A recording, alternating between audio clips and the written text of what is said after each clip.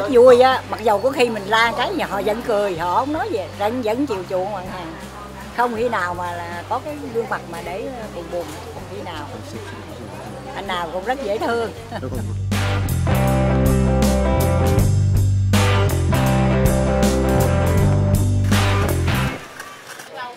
Mấy anh ờ, sale Ajinomoto thì rất là tử tế, nhiệt tình với lại ờ, chăm sóc hàng hóa mình rất là tốt.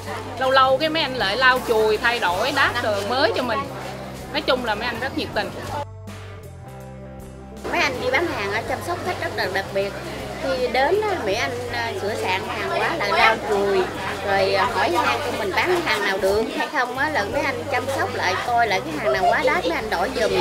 Rồi lại mỗi buổi sáng anh tới là lau chùi những cái hàng này này anh xin anh rồi sắp sửa lại cho nó đẹp.